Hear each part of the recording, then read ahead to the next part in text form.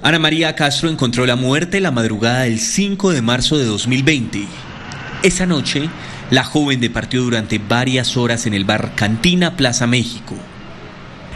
City Noticias recorrió el lugar donde se centra la atención de las autoridades.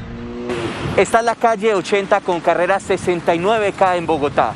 Este es el punto donde, según la Fiscalía, Ana María Castro fue arrojada de la camioneta.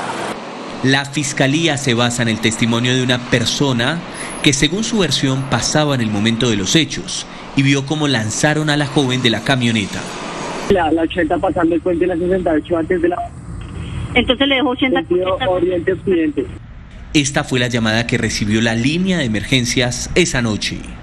Sobre la 80 llegando antes del puente de, a la Boyacá botaron a una chica de un carro y pues está botando mucha sangre está ahí acostada. Realizamos un recorrido. En la zona hay pocas cámaras de seguridad, situación que ha dificultado el seguimiento de las autoridades. Un año después de la muerte de Ana María Castro, el expediente de la Fiscalía contiene el testimonio recuperado de 16 horas después de los hechos y cuyo escenario se ubicó entre las avenidas 68 y Boyacá, con calle 80, al noroccidente de Bogotá.